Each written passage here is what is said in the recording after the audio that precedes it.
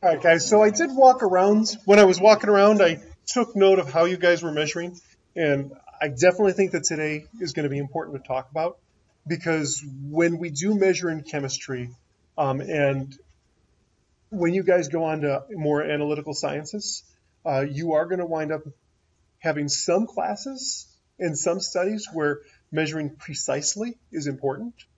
And there's going to be some activities and, and classes uh, where measuring precisely is not as important. But for chemistry, when we do qual, uh, sorry, when we do quantitative analysis, um, being as precise as possible is going to wind up being important because if you're not as important, uh, if you're not as precise when you do a measurement, then everything doesn't come out right the way it should.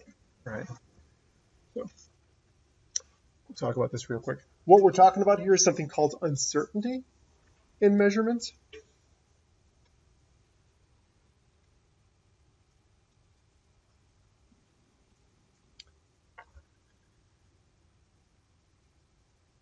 And what uncertainty basically is, is the fact that when you use different devices,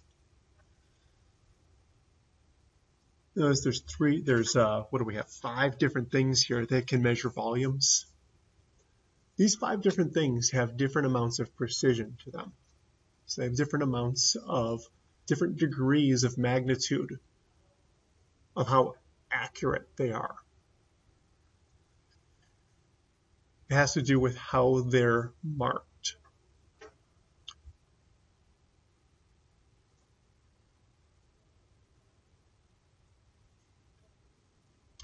For instance, something like that graduated cylinder. It appears to me that there's major markings every 10 divisions, right? The 10s, 10, 20, 30, 40, 50, 60, 70, 80, 90, 100. Uh, it looks to me like there's minor divisions also, and that there's 10 minor divisions. That means that it's precise to the ones place.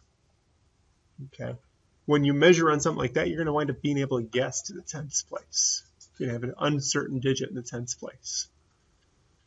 Syringes can have even better precision than that. They might be marked to the tenths place, and you're not going to be certain about the hundredths place value.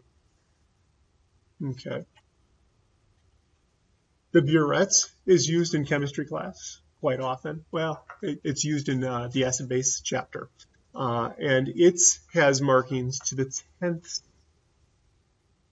place. So that means, again, the uncertain digit is going to be in the hundredths place value. Is this making sense? Do you notice what I'm saying? The lines, wherever the place value is, the uncertain place value is always going to be one place to the right of that, one place beyond that. Okay. Um, so it's important that measurements are taken carefully and careful attention is made to your scale markings. Okay. Measurements should always include the known numbers, which would be all of the lines, all the place values, including the lines that are there, plus one estimated digit.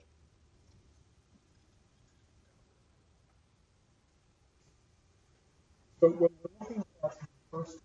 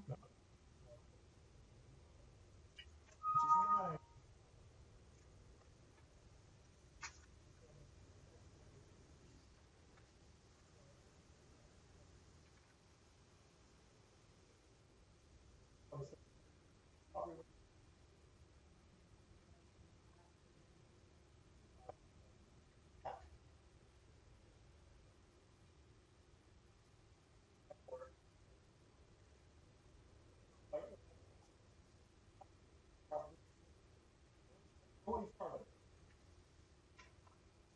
I guess one,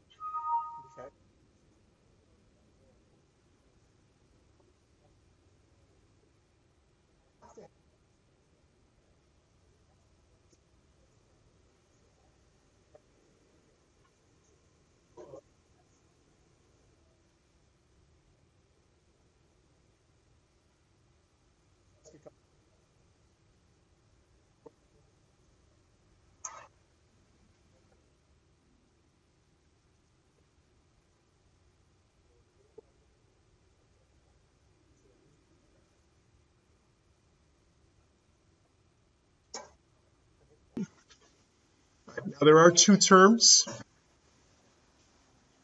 that sometimes we throw around but are important to differentiate. Okay. Accuracy is going to talk about how close a measurement is to the accepted or the true value.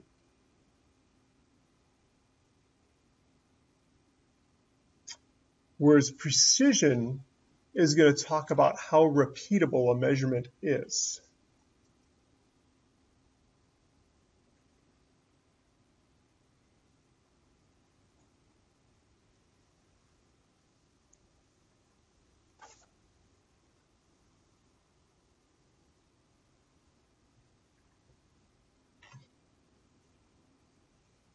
So here's the question. These are three measurements that were taken in lab. What can I state about these three measurements?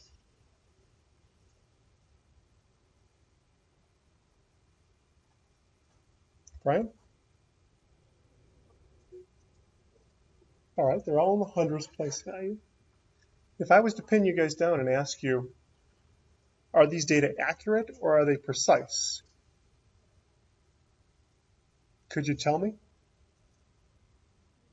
I mean, it could be accurate and precise too.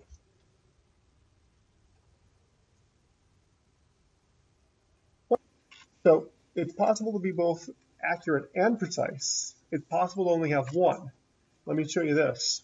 Here's the analogy the textbook uses. They use a they use a bullseye technology, uh, uh, bullseye analogy, uh, and from their point of view, the correct answer is the bullseye. Okay, so notice in the image A here, they have good accuracy and good precision. So accuracy means that they all hit the bullseye. Precision means that they're all clustered around the bullseye. Part B there, there's poor accuracy. Nothing's near the bullseye. But there's good precision because all those darts hit in the same area. Okay. Poor accuracy and poor precision, the they missed the target completely, they missed the bullseye completely, and they're everywhere. They're thrown sporadically. I think C is more like how I play darts. Aubrey?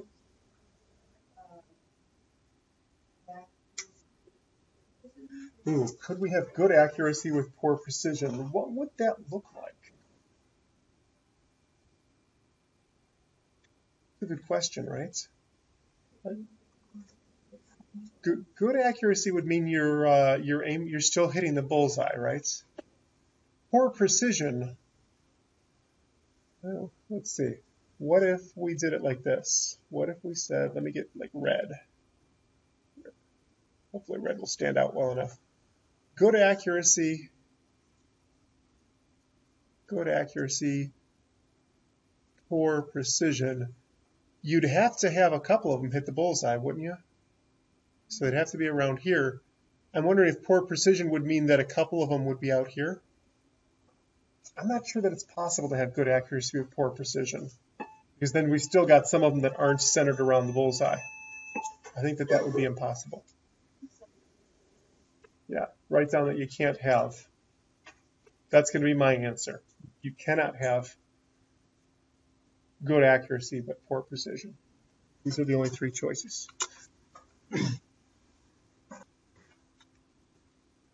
scientific notation how many of you guys remember scientific notation? Pretty well? Okay, so this is this is just a brief overview. We should be able to do this in just a couple of minutes. All right. What is scientific notation? Well, it's a way of writing out really large or really small numbers. Okay. Uh, it's a systematic way, which means that you have to do it a specific way. Um, n is going to wind up being any number between 1 and 10 okay?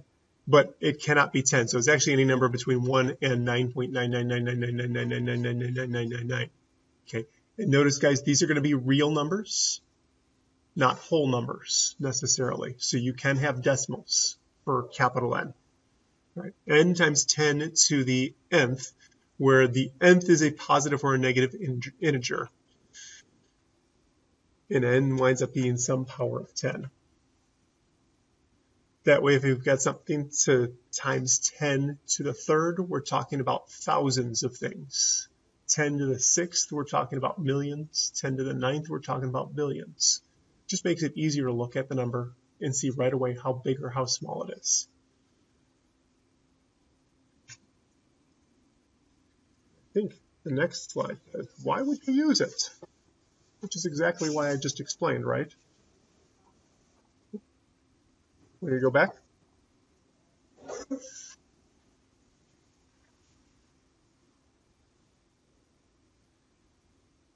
Are we all set? Okay. Uh, so why would we use it? Um, huge numbers like this number here, right? What number is that? If you're trying to figure out what this big number is, you've got to start here and you got to go, okay, these are the thousands, these are the millions, these are the billions, these are the trillions, these are the, what comes after trillion? Quintillion, and then that's septillion? I no, no, what, what, it's, uh, it's five, quadrillion, it's quadrillion. So there's two, two quadrillion, 230. Wouldn't it be so much easier to say 2.23 times 10, 3, 6, 9, 12, 15, 18, to the 18th. Isn't that a lot better? Okay, that's a lot easier and it's a lot more succinct. When you read that, you can tell that's a ginormous number. And you, it doesn't really matter how big it is, because if I want to compare another number to it, like, uh, I don't know, 6.02 times 10 to the 23rd, I can tell which number is bigger, right? By just glancing, which number is bigger? Right. How do we know that? The exponent there, right? We look at the exponent. Okay, you can't look at the 6 and the 2 because those don't tell you how big the number is. The exponent tells you how big the number is. All right. We don't want to deal with all those zeros. So we're just going to use the shortcut. Should I review real quick how to how to convert? Okay, so we'll convert backwards and forwards. Okay. So you convert to scientific notations. You've got a regular old number. Uh, if the decimal was moved to the left to make the number, then n is going to wind up being a positive number. And if the decimal is moved right, n is going to be negative. Um, I think if you think about it, it's easier than if you write down that rule and memorize it. Let me show you what I mean. With the number, hmm, where's my mouse? Okay, here it is. With the number that we've got here, it looks like, I'm going to put a comma in here so I can see it well. It looks like we have 500,502. The decimal usually lies right here, right? To make this scientific notation, I have to move the decimal one, two, three, four, five places to the left. So I'm going to write down 5.00502 times 10. How many places did I move the decimal? 5. Okay. I'm going to write down fifth. The way I know whether it's a positive 5 or a negative 5 is I look at the original number. Okay. If it's positive 5, it's bigger than 1.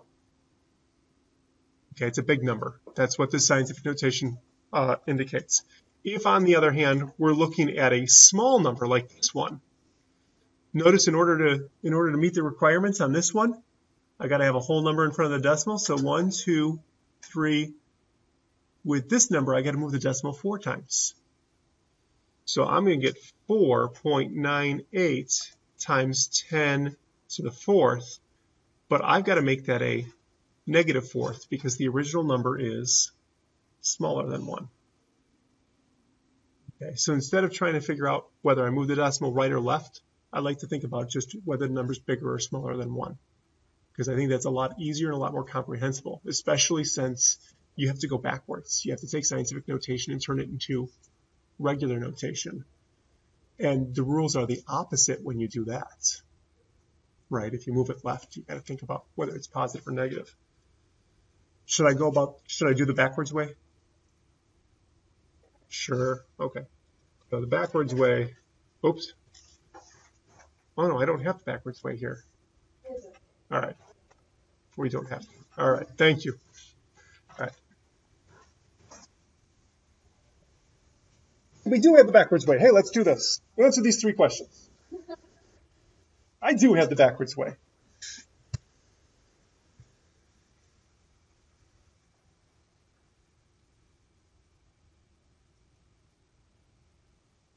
One thing you guys are going to notice when you see things in textbook right now, uh, I usually write a zero in front because they've done they've done psychological studies and they say if you don't put a zero in front that people sometimes miss that decimal completely. Okay, so I, I tend to do that, so don't worry if you don't, but I just tend to do it. So if you ask me why I keep writing a zero, uh, it's because I know about that. All right. The other thing is, do you guys know about the groupings?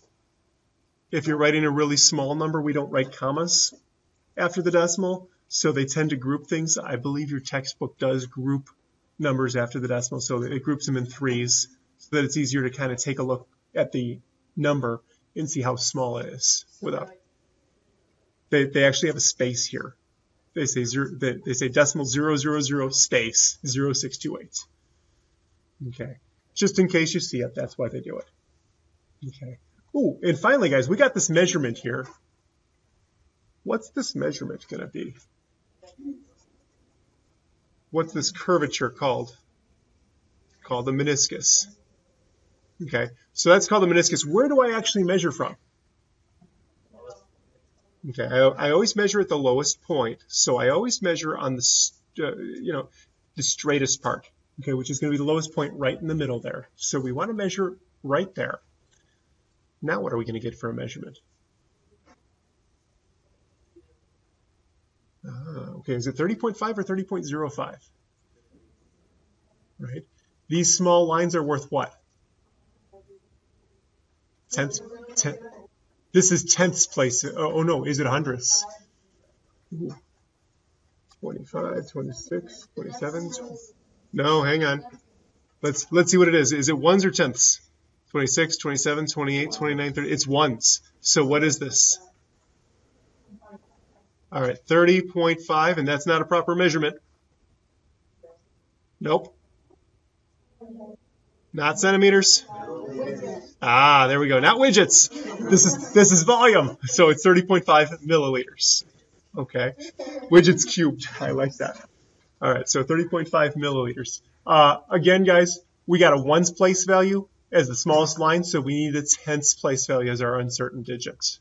Okay. And then the units are what I'm saying are necessary to have a measurement.